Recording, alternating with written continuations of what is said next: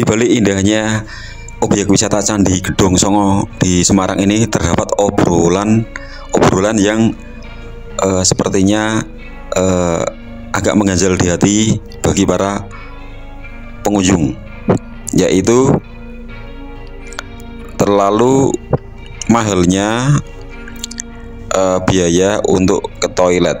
Tiap kali ke toilet diminta bayar Rp3.000 ada yang Rp2.000 dan Jikalau itu kotak pengisian uangnya itu tidak dijaga, tidak masalah.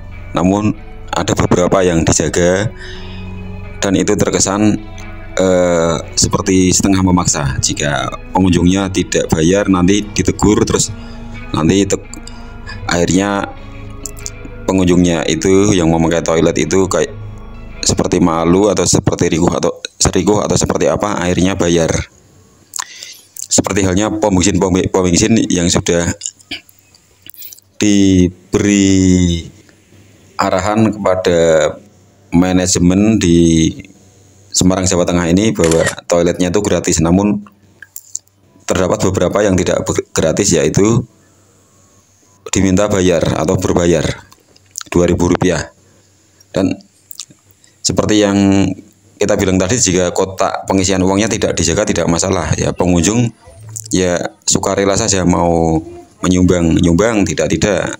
Namun jika yang kotak pengisian uangnya itu dijaga itu kan terkesan sedikit agak memaksa. Demikianlah obrolan warga atau pengunjung dengan saya di sebuah titik di lokasi Candi Gedung Songo itu. Waduh mas, itu kalau ke toilet bayar 3000 atau bayar 2000 ke toilet sono.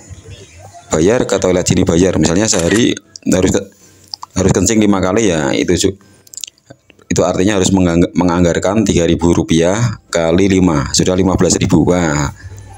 Sangu atau bekal sekolah anak kita saja nggak nyampe segitu.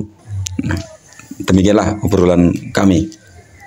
Padahal pengunjung sudah ditarik retribu, retribusi bagi wisatawan domestik Rp15.000. Nah, bayar parkir Rp3.000 jadi totalnya Rp18.000. Nah, itu ketika masuk harus mengurusi pembayaran ketika akan ke toilet Rp3.000. Harusnya eh, minta saja ke tim manajemen objek wisata tersebut agar kotak pengisian uangnya jangan dijaga, jangan dijaga orang. Kalau dijaga orang itu memberatkan orang karena warga yang warga pengunjung wisatawan yang ngobrol-ngobrol beramai-ramai dengan kami menyatakan begitu.